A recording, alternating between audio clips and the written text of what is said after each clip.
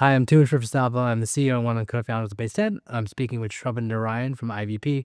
Um, IVP led both the Series B and Series C at Baseten. Do you want to just start off by with uh, how did you, you know, notice Baseten and what what really stood out to you? Yep. Um, that got you excited to invest a little over, a little over a year ago.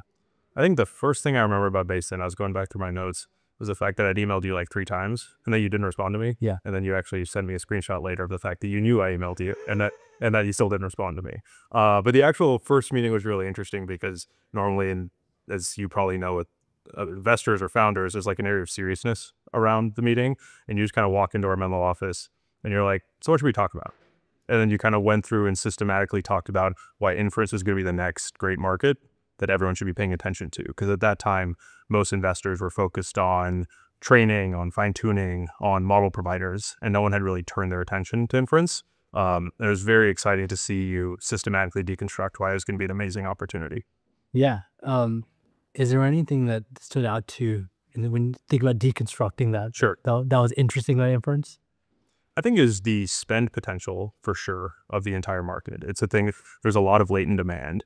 And then part of inference is just, it's really, really hard to build properly. And so companies have been trying for a while to solve it in house and they hadn't been able to. And not only were you able to talk about why it's a big market, you're also able to show why your Baseten's years spending really deep infrastructure was going to pay off in a really big way. Awesome. Um, there's a lot of parallels, I think, to the data infrastructure market. Sure.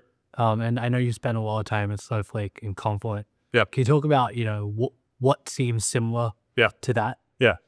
I think the there are a couple things that stand out, especially in comparison to Confluent Cloud or Snowflake. If you can build an experience which takes the difficulty out of people's hands for something that's mission critical, it's really, really hard to build first, and then it's really hard to convince people that they should trust you for something that because it's truly the lifeblood of their product.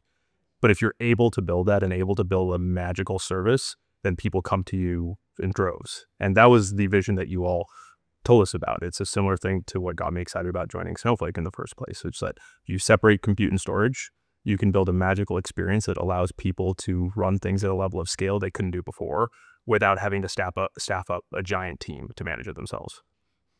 Amazing. And then over 2024, obviously, we all saw kind of people take notice of inference as a market. Yeah, yeah. Um, you know, what, what got you excited to, you know, first thinking about doubling down and eventually Yeah. get really excited about the business? Yeah, revenue growth helps. Uh, but in addition to that, in addition to the revenue growth and team growth, I think what we were able to see over the year was how you were even better positioned than the year before.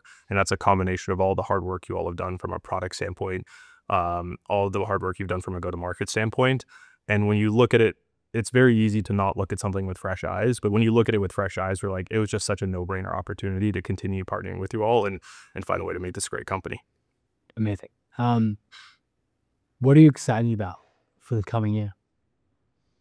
I mean, even though I think there are a lot of us that are excited about inference and everyone at this table and at this company knows what a big deal it is, the world, it's still very early days for it.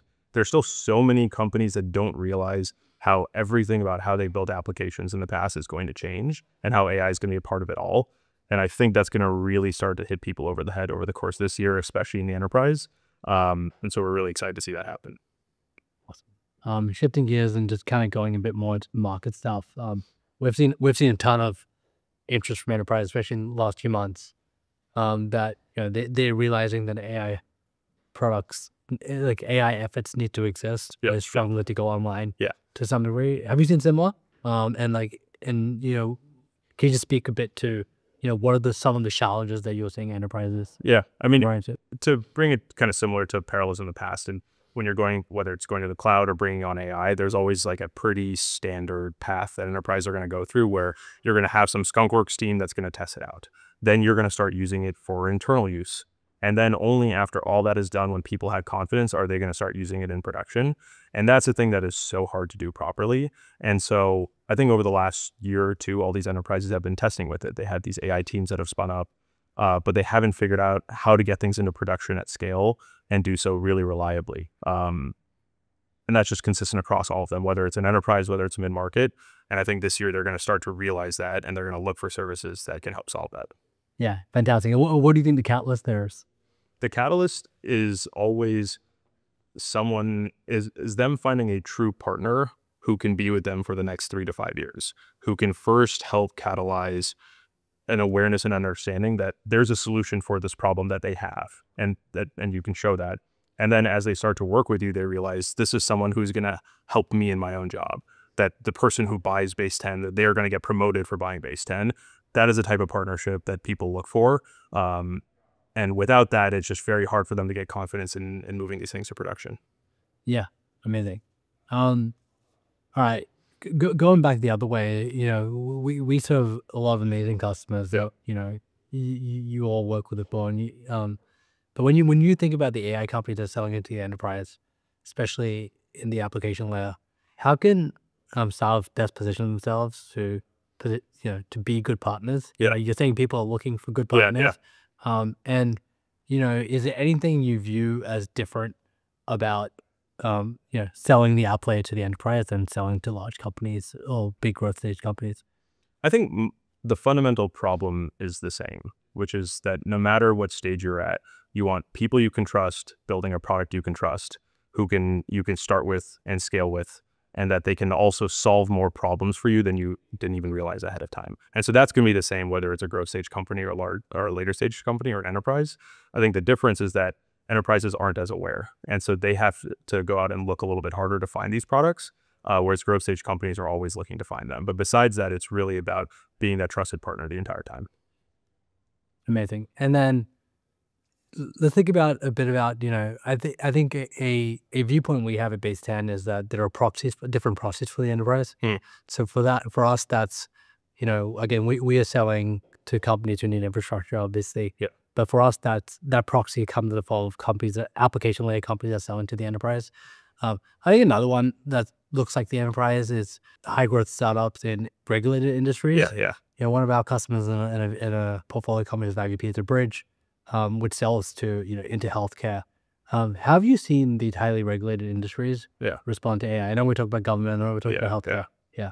Actually, in some ways, we've seen more of an uptake from them than we have from most enterprises because the users there are just so starved for anything from the 21st century. Like the products there have not changed in decades. The experiences have not changed in years and years. And so there's finally this way for them to stop doing so much manual work, stop making so many errors, all that sort of stuff, and really have products that help make their job better. Um, and AI is the first thing that is and it, that is the thing that's enabled them to to have those solutions for the first time in years and years. And so we're actually seeing probably more adoption from healthcare, even from the government, from financial services, than we would have seen in in prior in Yeah. prior shifts. Yeah, that's, uh, that's the crazy thing even for us, which is, you know, it, it turns out that these buyers are a lot more rational. They Yeah. probably would have given them credit, like slow to adopt. Yeah. Probably just um, code word from our perspective of didn't see enough ROI. Yeah. Um, awesome. Um, at the end of the day, you know, you, you- work with a lot of founders. Yeah. Um, you know, they come to you in various forms, and you know, for the ones launching app- AI applications or building AI startups, what's a piece of advice that you'd give them? Biggest thing is speed. There are so many different competitors out there and so many companies out of, out there that are trying to solve similar problems. Anything you can do to offload non-core activities to another company, to another product, such that you can move faster than ever before, you just have to do. Yeah. You don't really have a choice anymore. Um, such as inference. such as inference. Exactly.